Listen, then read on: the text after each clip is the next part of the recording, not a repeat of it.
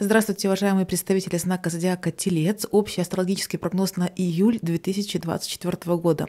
На самом деле в этот раз июнь и июль сплетены вместе, и я начну гороскоп на июль с июня. Напоминаю вам, 20 июня — это день летнего солнцестояния. Начинается лето в природе.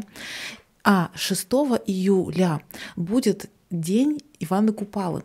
И, в принципе, этот весь период с 20 июня по 6-7 июля его можно назвать периодом начала лета, периодом летнего солнцестояния. 20 июня Солнце перейдет в знак зодиака Рак, а 6 июля будет новолуние в знаке зодиака Рак, то есть соединение Солнца в Раке с Луной, а Луна управляет Раком.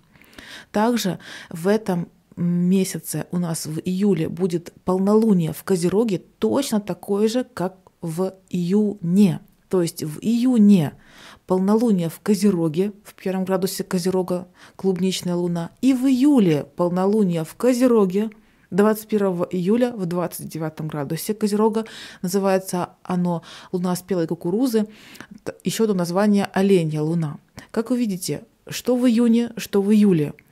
Тема а, праздника Солнца, тема водной магии, магии воды, это 20 июня и 6 июля, и также полнолуние, опять же, Луна, опять же, вода в знаке Козерога дважды, 22 июля и 21 июля.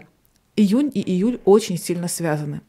И я свяжу их еще одной причиной, потому что свяжу, потому что я забыла в гороскопах на июнь рассказать о том, что 29 июня Сатурн становится ретроградным в знаке воды, в рыбах. Я забыла об этом сказать, но не огорчена, потому что, в принципе, 29 июня это, в принципе-то, уже и июль, и действительно имеет смысл об этом транзите рассказать уже в июле. Думаю, вы согласитесь. Заметьте, и еще раз отмечаю, как много стихий воды. Знак зодиака рак, солнцестояние и новолуние – и троечная неделя, русалья неделя — это вода, водная энергия, но это вода речная, озерная, это вода пресная, та, которая течет по земле в небольшом количестве. А рыбы — это вода океаническая, морская и соленая. В рыбах, в знаке зодиака рыб, 29 июня разворачивается Сатурн, а 2 июля в рыбах также разворачивается Нептун — Нептун — управитель знака зодиака рыб. Сатурн в 19 градусе рыб, Нептун в 29 градусе рыб. Посмотрите, как даже цифры играют красиво. Рыбы — знак третьей воды, знак моря, океана. И обе планеты становятся ретроградными. Глубоководность. И по раку, и по рыбам — вода. И по раку, и по рыбам — углубление, погружение в себя. Какой-то ретро-процесс, какой-то регресс, возвращение в прошлое, возвращение к корням. Всегда период, когда Солнце идет по знаку зодиака Рак, это всегда о корнях, о родине. Всегда период Солнца в Раке, потому что Рак, в принципе, знак, который отвечает за родину.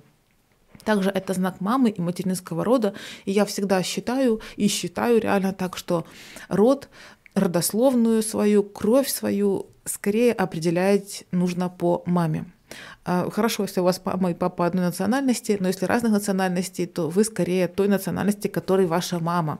Это так чисто астрологически, по крайней мере, я так считаю. То есть, если вы сомневаетесь, что считать своей родиной, то э, хотите, если хотите прислушаться ко мне, то я говорю, что это земля матери, это кровь матери, это род матери, это ее гены. Это четвертый дом гороскопа, это знак зодиака рак. Вот такой, конечно, период э, вообще родовой наступает. Погружение, погружение очень много, в том числе магического, мистического, в том числе в таких форматах, как, например, гадание, предсказание. Это тоже погружение либо в прошлое, либо в будущее. А Русалия неделя в конце июня, троечная неделя, зеленые святки, святки, точно так же, как зимой, святки летом, когда идеально просто гадать, поэтому, уважаемые тельцы, обращайтесь ко мне за таро-раскладами. Идеально делать таро-расклад и в июне, и в июле, особенно, конечно же, в период с 20 июня по 6 июля. Это мега магическое время. Кто попадет в русалью неделю, это просто, вы попадете просто в десяточку. Это будет супер для предсказания, для гадания на русалье неделе. Что же касается э, транзитов э, ретро, да, ретро-Сатурн в рыбах, э, ретро-Нептун в рыбах, то это ваш одиннадцатый дом гороскопа, а это уже дом астрологии. Тут сочетание и мистики, и магии, э, и предсказательных техник и взглядов в прошлое, и взглядов в будущее, потому что дом — это как раз уже дом будущего. Планирования, мечтаний, полетов, фантазий, написаний своих планов и, еще раз говорю, астрологии. Поэтому обращайтесь и за своим астрологическим прогнозом. За астрологическим прогнозом обращайтесь всегда, в любое для вас удобное время. И э, можете сказать гороскопчик на июнь, на июль, на август, на любой другой период времени, на месяц гороскоп. Также, конечно же, уважаемые тельцы, кто не заказал свой соляр, заказывайте гороскопы солярные на ваш год. И таро раскладики солярные тоже заказывайте. Одиннадцатый гороскоп — это про будущее. Но планеты ретроградные. Что получается? Все новое, очень хорошо забытое старое. Планеты в доме будущего, но в ретрофазе. Возврат в будущее. Как такое возможно? Может быть, вы путешественник во времени, может, вы уже летали в будущее, еще раз полетите. Ну, Шучу, но в каждой шутке доля шутки. Одиннадцатый гороскоп — это дом чудес, шуток, юмора. Это дом такого стендапа. Также это дом НЛО, всего неопознанного, летающего, неизвестного, неизведанного, неизведанных земель, неизведанных идей в том числе. По одиннадцатому дому гороскопа остается то, чего раньше не было. Все гениальные открытия — это одиннадцатый дом гороскопа. Все Теслы, которые еще не изобрели, это одиннадцатый дом гороскопа. Все пенициллины, которые еще не открыли, это одиннадцатый дом гороскопа. Все программы и программисты, а это 11 дом гороскопа, роботы, все роботизированное, сюда же. 11 дом гороскопа — это дом всего самого модного, новейшего, новейших технологий в том числе. Также это, конечно, дом молодежи. Если у вас есть внуки, то это дом внуков и а, ответственность, э, общение с ними, альтруизм а, по отношению к внукам. В принципе, по отношению к чужим детям альтруизм также проходит по 11 дому. Поэтому, кто работает с детьми, у вас такой период наступает хороший именно для работы с детками. Ну и для взаимоотношений, естественно, с людьми, которые вас намного младше. Если говорим о любви, то по 11 дому гороскопа проходит отношения эпохи Водолея. Это отношения с разницей в 11 и более лет. По 11 дому конкретно разница 11 лет. Это Уран. Это отношения передовые. В будущем этого будет все больше и больше. Я ни в одном своем гороскопе повторяла, наверное, вы уже слышали, я говорю, что в эпохе Водолея будет такая разница нормой. То есть разница в 11 лет будет нормой. Женщина старше на 11 лет. И также это один дом, это также дом коллективов в разных их формах. Это дом просто друзей, просто посиделок, когда вы, например, душа компании, и политических партий. Вот такая разная компания, но и то, и то это компания. От обычной посиделки с друзьями, тут даже попойка может быть от слова «попели». И политическая партия, какое-то эко-движение, какие-то митинги, революция — это тоже 11 гороскопом. Так что разные собрания, и собрания, и сборища, и партии, и коллективы, и интернет, как самое огромное собрание людей на планете, тоже проходят по этому дому гороскопа, дом интернета. Поэтому кто работает в интернете, очень хороший, конечно, период у вас по ретрофазам. А ретрофазы продлятся долго. Сатурн будет в ретрофазе до 15 ноября, а Нептун до 8 декабря. Поэтому вот о таком большом периоде вы сейчас послушали. Если хотите, переслушайте еще раз, чтобы точно осознавать, про какой большой период времени я только что сказала. Все отношения, которые я озвучила, будут актуальны в указанный период времени. И очень-очень большую роль будет играть ваша рефлексия, то есть ваше отношение к этим отношениям, извините за тавтологию, ваш взгляд на эти отношения. Это взгляд в будущее, это взгляд про будущее, в принципе, но с ретро-оттенком. Захочется, возможно, вам в будущее принести то, что давно и далеко оставлено в прошлом. Кто-то будет пытаться возвратить чуть ли не времена своего детства. Если у вас, конечно, детство было хорошее. Может быть, вы не хотите детство возвращать. Я, например, не хочу свое детство возвращать. Но, может быть, у, вас, у кого-то из вас было хорошее детство, может быть, захочется его вернуть. Как вы это сделаете? Через общение с внуками, а через какую-то свою политическую движение, какую-то политическую активность свою, посмотрите сами по себе. Может быть, просто у кого-то будет встреча а, выпускников, встреча одноклассников. Вот в таком формате тоже может пройти. Уважаемые тельцы, я очень стараюсь. Пожалуйста, оцените мой труд, поставьте лайк, подпишитесь на канал. Это совершенно несложно, не проблематично, никак вас не обременит. Я уверена, что никто над вами не посмеется. Наверное, никто не смотрит, на кого вы подписаны. Поэтому подпишитесь, поставьте лайк, напишите добрый светлый комментарий, и мы продолжаем. 2 июля будет еще один транзит. Меркурий переходит в знак зодиака Лев. Меркурий у нас быстренькая планета. Он быстренько пробегает знак зодиака Лев, и 26-го он уже в Деве. То есть Меркурий делает два дела сразу в июле. Он одновременно в вашем, не одновременно, а по порядочку, конечно, в четвертом и пятом домах. Эти темы могут быть связаны, и они в принципе связаны. Меркурий в четвертом доме со 2 июля – это о семье, о домочадцах, о тех людях, с которыми вы живете. Меркурий в пятом доме – это о любимых людях. И очень часто мы и живем как раз-таки с теми людьми, которых любим. Четвертый дом – дом домочадцев, пятый дом – дом любимых. Домочадцем может ли быть ваш любимый муж, э, любимая жена? Конечно. Может ли быть по пятому дому, что это ваш любимый ребенок, вы с ним живете? Конечно. Также по пятому, четвертому дому могут пройти братья сестры, которых вы любите, здесь важна любовь, и домашние животные, в том числе, которых вы любите, а также ваши любимые дела, хобби, увлечения, развлечения, спорт дома, если вы занимаетесь, тоже может пройти. Поэтому весь июль подходит для того, чтобы заниматься любимыми делами дома, э, хобби, творчество, спорт, э, заниматься любовью дома, интимные вопросы здесь тоже, конечно же, идут активно очень, и заниматься чем-либо вместе с любимыми людьми. Может быть, вы захотите вместе заняться спортом, может быть, вы вместе готовите, кушать, может быть, вы вместе делаете ремонт, уборку, все вместе хорошо. Может, просто играете, поете, смеетесь, смотрите фильмы дома, а, кушаете дома вместе, какие-то устраиваете вот особенные какие-то вечера. Опять же, это может быть романтические вечера при свечах. Это могут быть, например, встречи с братьями и сестрами веселые, смешные, такие посиделочки, хохотушечки. Также это может быть с детками, опять же, и душевные какие-то разговоры, и поддержка психологическая. В общем-то, месяц хороший, чтобы быть дома в целом и с любимыми людьми. Следующий транзит – это новолуние. Новолуние Ивана Купальская. 6 июля новолуние в знаке зодиака Рак, соединение Солнышка и Луны. И э, для вас это третий дом гороскопа. Третий дом гороскопа – это дом всего нового – и вот новолуние в доме всего нового, это самое новое новолуние, оно может вам принести очень много нового. Может быть, каких-то три новых э, события, дела, новости. В принципе, новость. Может быть, конкретно в этот день вы узнаете важную какую-то новость. Эта новость может касаться ваших родственников, ваших соседей, ваших друзей, ваших коллег. А может быть, это будет какая-то новостная лента. Что-то вы увидите реально важное, которое касается вас. То есть это не просто какая-то новость, а новость для вас важная. Новость о том, что происходит у вас в округе, в ближайшем вашем, в ареале вашего обитания, как я говорю про третий дом, что третий дом — это ареал обитания. Так что вот в вашей прерии, в вашем прайде что-то происходит, вот по третьему дому вы об этом узнаете.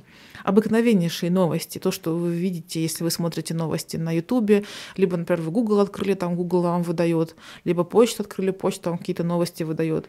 Вот что-то важное. А, также может появиться новый член семьи, но это может быть не у вас, а где-то у родственников. Например, у вашего брата рождается ребенок, либо у вашей сестры появляется муж. Может ли у вас? Может. Тут могут быть, опять же, дети и внуки да, появление детей и внуков, потому что есть Меркурий в четвертом доме, Венера в четвертом доме, Солнце будет в четвертом доме в этом месяце. Есть тенденция того, что а, смены в роду происходят и прибавление семьи происходит. Может быть у вас, но скорее всего, что не конкретно у вас, а все-таки у кого-то из родней. Третий дом гороскопа несет знакомства всевозможные, важные и нужные.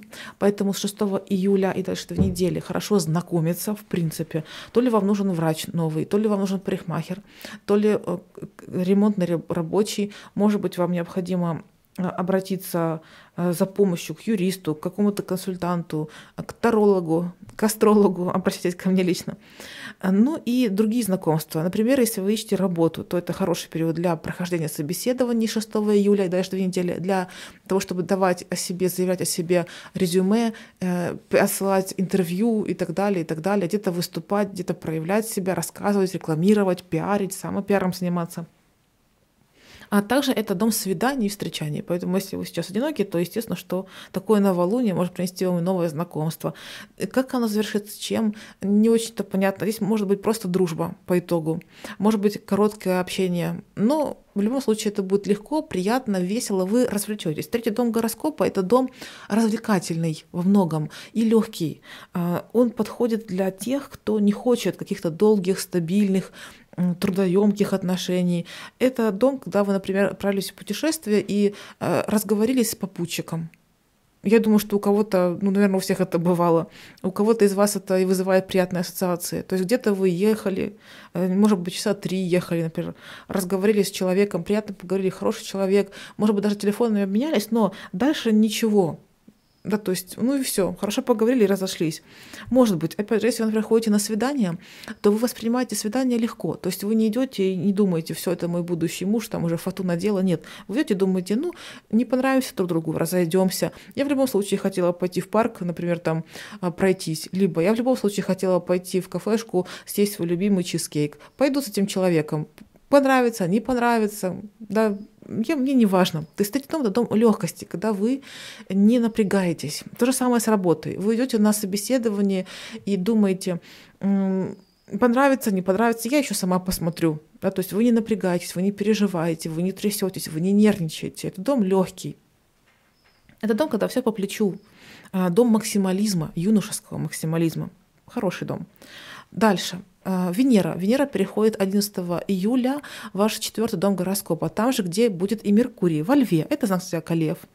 Лев э, теплый знак, знак домашнего очага. И у вас это символически тоже дом домашнего очага. То есть четвертый дом гороскопа — это дом домашнего очага, и лев тоже домашний очаг. Венера. Венера дает тепло, вот эта ассоциация четкая с камином, с теплым очагом, действительно в прямом смысле этого слова, в переносном смысле тоже, потому что любовь греет душу, греет сердце, греет вас. Венера в четвертом доме, любовь в доме, теплота, нежность, ласковость, приятность, цветы, как я подобрала вам специально, кстати, под Венеру, такую Венеру львиную, цвет солнышка, цвет льва, цвет приятности, такой вот солнечности, радости. Желтые розочки, светло-желтенькие розочки а, — это цветы льва, а вы, уважаемые тельцы, вы управляетесь Венерой, потому что, потому что она ваша управительница, вам, в принципе, все цветы нравятся. Поэтому разного цвета, я уверена, всякие и разные. В а, этом месяце по такой Венере в доме может быть реально много цветов, в вашем окружении, в принципе, много цветов, подарки, опять же, если вы ходите на свидание, может быть, здесь будут подарены вам цветы, вы сами себе можете покупать цветы, вам могут дарить их э, и мужчины, и женщины, вне зависимости от того, мужчина вы или женщина. Ну и, конечно, Венера в четвертом доме — это непосредственно женщина, какая-то может появиться в вашем доме. Может быть, вы начнете жить вместе с любимой, если вы мужчина. Может быть, у вас какой-то совместный будет уикенд — также это может быть ваша дочка, которая появляется дома. У кого-то это может быть даже и домашнее животное, девочка. Венера в четвертом доме. И какая-то другая красота. Может быть новая картина, может быть новая статуэточка, может новая э, новый диванчик какой-то тоже по Венере в четвертом доме. То есть что-то мягенькое, нежненькое, приятненькое, красивенькое, что появляется у вас в доме. Кошечка либо э, что-то что посущественнее, может быть, может быть и ремонт, и косметический ремонт изменят атмосферу в вашем доме. То есть не только физически, но еще и, конечно, психологически вам стоит станет приятнее, нежнее и ласковее. Это дом э, ласковости, и Венера ласковая планета, в общем, ласковый очень транзит. Марс. Марс в этом месяце в вашем втором доме гороскопа с 20 июля. Это про деньги видите как, и любовь, и деньги, вообще месяц такой разнообразный. Здесь и дом, и любовь, и деньги, и поездки, и знакомства, и все может быть. А по Марсу деньги. Деньги с 20 июля. Вы активно, э, продуктивно их зарабатываете. Полнолуние в этом месяце будет 21 июля. И обратите внимание, у нас в июне полнолуние было в Козероге. Сейчас показываю вам посмотрите внимательнее, обратите внимание, кому особенно тяжело на слух воспринимать, вам будет легче это все понять. 22 июня полнолуние в первом градусе Козерога, клубничная луна, а 21 июля полнолуние в 29 градусе Козерога, и называется оно оленья луна, либо луна спелой кукурузы. Название про кукурузу мне нравится больше. Два полнолуния в Козероге – в начале знака и в конце знака. Одинаковые полнолуния. Июнь, июль реально как месяцы-близнецы. Они по названию и по звучанию, и по энергиям, перетекающим одна в другую, и еще и два полнолуния одинаковых. Может ли быть, что июнь у вас как брат-близнец похож на июль и июль на июнь? Да. Может быть, что эти два месяца будут восприниматься потом как один? Да. Месяцы реально схожие, похожие, хотя бы по полнолунию. То есть одна и та же тема кульминирует что в июне, что в июле. Полнолуние — это кульминация месяца. Всегда. Это всегда самое эмоциональное время. Новолуние — это всегда минимум энергии, это старт, это начало. Новолуние похоже на рассвет, когда вы только просыпаетесь. А полнолуние похоже на самую яркую точку дня, на самую активную точку дня. У кого-то, может быть, это 12 дня, у кого-то 4 дня, а у кого-то, может быть, это 22 вечера. Смотрите по себе, это тут по вашим энергиям. Но вот тот момент, когда вы наиболее активны, наиболее продуктивны, у вас больше всего энергии, это символически полнолуние. После этого идет спать энергии, и вы идете спать. Вот по такому полнолунию, по второму полнолунию в вашем девятом доме гороскопа у вас дважды кульминация в сферах девятого дома. Девятый дом очень широкий, разнообразный дом. И мне про него сложно говорить, вы знаете почему. Потому что это дом путешествий. Как говорить про путешествия, если половина из вас путешествует постоянно, а вторая половина вообще никогда в жизни никуда не ездили. Есть еще люди, которые изредка куда-то ездят. Говорить сложно, очень трудно. Но все-таки я постараюсь, и вы, пожалуйста, уважьте меня кто не поставил еще лайк, обязательно, пожалуйста, поставьте из уважения к моему труду. Перечисляю все, что только может идти по девятому дому. Все, а вы выбираете. Еще раз говорю, это про июнь и про июль. То есть вы сейчас будете слушать одновременно прогноз и на июнь, на 22 июня плюс-минус несколько дней, и на июль, на 21 июля плюс-минус несколько дней. Расширение во всех значениях. Луна полная, Девятый дом – дом полноты. Поэтому увеличение, расширение, пополнение, а, полный круг, полная чаша, все ассоциации с полнотой здесь идут. А, это дом Бога, поэтому божественность и богатство здесь же. Все, что где-то за границами, все, куда нужно устремляться в прямом смысле, либо в переносном. Поэтому реальная заграница, территориальная, но и мировоззренческая заграница также проходит по такому полнолунию и в июне, и в июле. И в июне, и в июле для вас могут быть актуальны темы а, веры, религии, высшего образования, темы публичности, публицистики в том числе, всех иностранных государств, языков, культур и знаний, дальние путешествия, командировки, поездки за рубеж, обучение за рубежом, либо у иностранца, документы, связанные с выездом за границу, могут пройти и в июне, и в июле эти темы. Социум, общение, также суды, у кого это сейчас есть. Второй брак. Второй брак официальный по документам. Эта тема кульминирует и в июне, и в июле. Может быть, у кого-то есть такая тема. К примеру, вы на 22 июня пошли, подали заявление в ЗАГС, а 21 июля вас расписали. И видите, это сходные, схожие, похожие энергии, и это продвижение, то есть это следующий шаг, это следующий шанс в том числе. Девятый дом, дом второго шанса, поэтому у вас дважды дом второго шанса. Я не знаю, уважаемые тельцы, может быть, у вас реально есть какие-то две сферы жизни, где вам нужно второй шанс получить. То есть, например, не могли получить вы документы, с первого раза не получили, второй шанс получаете. Не могли э, вступить в отношения, второй шанс получаете. Могут ли тут быть возвращенцы, которые к вам возвращаются? Да. То есть это может быть тема отношений, когда со второй попытки вы какие-то отношения восстанавливаете, устанавливаете, укрепляете повторные браки, повторные воссоединения в пару, все это может пройти. Друзья иностранцы, партнеры иностранцы, мужья, жены иностранцы, а, родители мужа также проходят по этому дому а, гуру, авторитетные личности, известные личности, уважаемые доктора, светила науки, депутаты. Это все девятый дом гороскопа. Журналистика, писательство, наука различная тоже здесь проходит, реклама здесь проходит. На такое полнолуние Конечно же, берегите себя, потому что здесь может быть да, тема чрезмерности и неуравновешенности, не, точнее, не, не то чтобы неуравновешенность, а, знаете, состояние, когда вы во все стороны ходите и туда, и туда, и туда, и туда, как обезьянка. Вот такой неуравновешенности. Метание скорее, метание по кругу. То есть не то, чтобы у вас два выбора, э, вы между одним и вторым выбираете, у вас четыре, у вас по кругу, целый круг то есть представьте себе, что вы как будто стоите в магазине, вокруг вас обувь, и вся вам нравится. Либо вы, у вас стол, да, круглый стол, и вам там все нравится. Вот такой выбор, вот такое метание. Берегите печень в это время. Конечно же, если у вас какие-то застолья, то здесь лучше быть, ну, постараться хотя бы по сдержаннее. Хотя, смотрите, конечно, по себе. Тут по такому транзиту может пройти такое ощущение, что, а, жизнь одна, живем один раз, да, надо, надо, надо когда-то и погулять. Конечно, и вот прекрасный такой круглый желтый букет тоже, опять же говорю, я картиночки стараюсь подбирать плюс-минус подходящие по энергиям. Вот такие ассоциации, что-то круглое, чего-то много, что-то большое, что-то красивое, что-то приятное. Цветов никогда не бывает много, цветов всегда мало. Это тоже о девятом доме гороскопа. Девятый дом — это дом расширения, когда хочется еще, еще, еще, еще. Девятый дом — это дом Юпитера, вы знаете, это прекрасная желтая, самая большая, оранжево-желтая, самая большая планета. Планета, которая думает, что она второе Солнце, и ученые говорят, что Юпитеру совсем немножко не хватило реакции его, чтобы стать реально стать звездой. Есть такая теория. Ну, а теперь давайте поговорим о настоящей звезде, о льве. Лев — это и есть звезда. Лев — это вообще звезда. Это известный человек, селебрити, это яркий, опять же, жаркий, огненный. Вспомните, что лев тоже у нас цвета солнышка, цвета оранжево-желтого.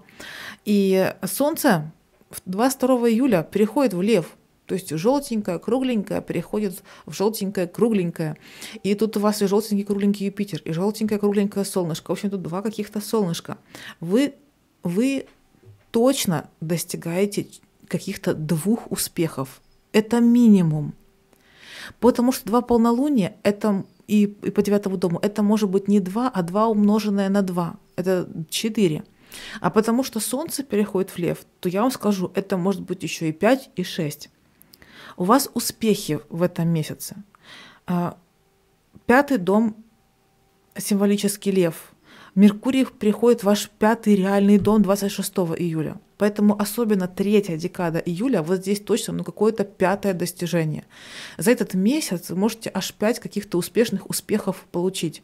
Достигаторство у вас здесь на высоте. Достичь можете многого. Повторно. Поэтому если что-то у вас на момент, например, когда вы меня слушаете, вы думаете, у меня вот уже какой-то там десятый раз ничего не получается, вот здесь не получается, может быть, отношения, а постоянно по кругу, ну вот не получается их устаканить с большей долей вероятности, уважаемые тельцы, получится. Конечно, напоминаю, что это общий гороскопчик. Чтобы знать наверняка, обращайтесь лично ко мне. Но по общему гороскопу, по равнодомной системе, выходит так, что если вы там 10 раз уже где-то бегали по кругу, наконец-то вы получите то, что вы хотели. Может быть, вы уже 10 раз ходили, пытались себе сделать какой-то документ, какую-то визу. Ну вот много лет реально, может быть, 12 по Юпитеру, может, лет получите. 10-12 а, раз пытались сойтись с каким-то а, человеком, который вам нравится. Может получиться. Э, несколько раз пытались, э, не знаю, что-то делать, похудеть, не могли похудеть, тоже пытались, пытались, пытались. Может получиться. И вот таких вот может получиться не с первого, так со второго раза, а может быть с десятого, с двенадцатого. У вас может быть пять то есть все буквально, что стопорилось, у вас может пробиться в этом месяце. Еще раз подчеркиваю, это общий гороскоп. Пожалуйста, будьте адекватны. Я вас очень-очень сильно прошу. Пожалуйста. Может ли такое быть, что у вас только чего-то одно вы достигаете? Конечно. Может быть такое, что вы достигаете и не пять ваших целей, а еще и больше? Конечно. Так что смотрите, пожалуйста, по себе, по вашим масштабам, по вашим способностям. Вы же понимаете, что достижения, не связаны, во-первых, с чем? С деньгами. Сейчас без денег ничего почти нельзя достичь, поэтому чем вы более богаты, тем больше вы достигаете. Здоровье. Чем более вы здоровы, тем больше вы достигаете. Друзья. Чем больше у вас друзей связи, тем больше вы достигаете. Гражданство. Чем больше у вас гражданства, тем больше вы достигаете. Об этом, обо всем этот период. Девятый дом – дом расширения и глобализации. Ну и давайте еще немножечко скажем про Меркурий. Я думаю, что вы понимаете, да, что солнце, которое переходит в лев, а, это о том, что у вас счастья становится в жизни очень много.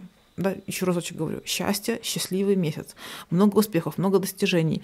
А, солнце в четвертом доме то же самое, что и Венера в вашем четвертом доме. Это про любовь, это про домашний очаг, если Венера в четвертом доме говорила вам, что девушка в доме, то Солнце в четвертом доме — это мужчина в доме. Поэтому муж и жена в доме, возлюбленный и возлюбленная в доме. Естественно, что июль весь подходит для того, чтобы начинать жить вместе с любимыми людьми.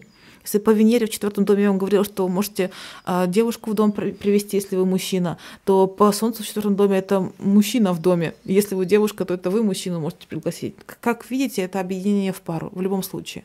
Когда есть он, а, Солнце во льве, лев, и она, Венера во льве, его львица. Аспект романа, аспект дома, домашнего очага, приятных романтических встреч в доме. И Меркурий в пятом доме только лишь это усиливает. Меркурий говорит, что в доме и тепло, и уютно, и светло, а еще разговоры по Меркурию, а еще документы по Меркурию, какие-то дела, какой-то бизнес может быть на тому по Меркурию. Так что месяц реально подходит для всего абсолютно, что связано с темой а, любви во всех ее проявлениях, а с темой общения, взаимоотношения и расширения. У вас может увеличиться дом, вы, может быть, э, увеличите свою жилплощадь каким-то образом, и, например, убрав все лишнее из квартиры и добавив, да, опять же, достройку какую-то, постройку дополнительную, может, сделаете.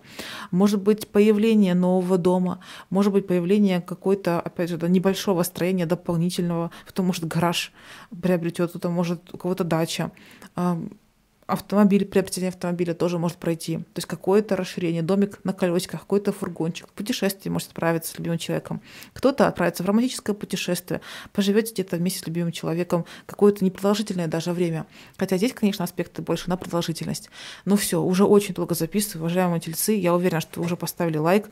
Говорить могу бесконечно, поэтому следите за всеми моими другими дополнительными выпусками. Я потому и делаю дополнительные выпуски, чтобы рассказывать еще побольше, что все невозможно уместить в одно видео. Потому я еще иногда пишу какие-то сообщества, а, какие-то посты пишу в сообществе, поэтому следите просто за моим каналом и будете знать намного больше. Всех благ, всего доброго.